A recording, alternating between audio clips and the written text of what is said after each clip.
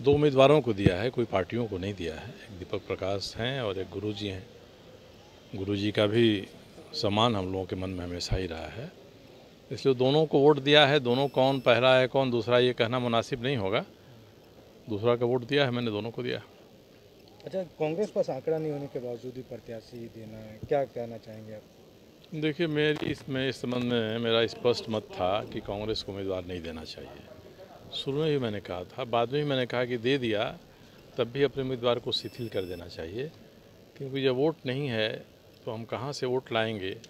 इसकी कोई रणनीति उन्होंने बनाई होती, खुलासा किया होता तो बात समझ में आती कि उनका ये आधार है, वो भी हुआ नहीं। तो राज्यसभा के चुनावों में जो राज्यसभा को ऊपरी सदन कहा जाता है, अपर हाउस है तो उसके हिसाब से उसकी मान मर्यादा रहे और झारखंड में पहले राज्यसभा का चुनाव जितना बदनाम हो चुका है आगे झारखंड का नाम बदनाम न हो राज्यसभा चुनाव को लेकर इसके लिए भी है कि दो यूपीए एनडीए दो घटक हैं दोनों को विचार कर लेना चाहिए कि हमारी अगर ताकत है एक उम्मीदवार देने जिताने की तो जिता देना चाहिए सर्वसम्मत हो जाना चाहिए कोई वोटिंग की नौबत नहीं आती वो बेहतर होता।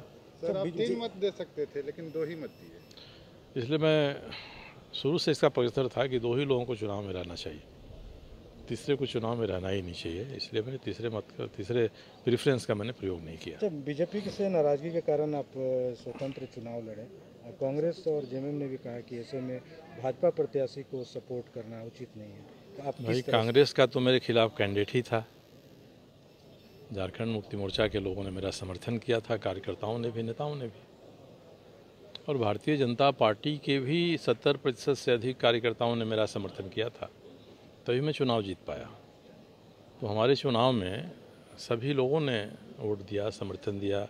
सुदेश महतो का भी समर्थन था, नीतीश कुमार का भी था, लालू प्रसाद जी का भी था। और सबसे बढ़कर जो भारतीय जनता पार्टी के कार्यकर्ता हैं, उनका बड़ा, उनके बड़े वर्ग का समर्थन था। इसलिए मैं किसी एक को नहीं कह सकता हूँ कि इनके कारण मैं जीत गया। जीता तो सबका समन्वित प्रयास था। सबके मिले जुले मत से ही हमको विजय प्राप्त हुई।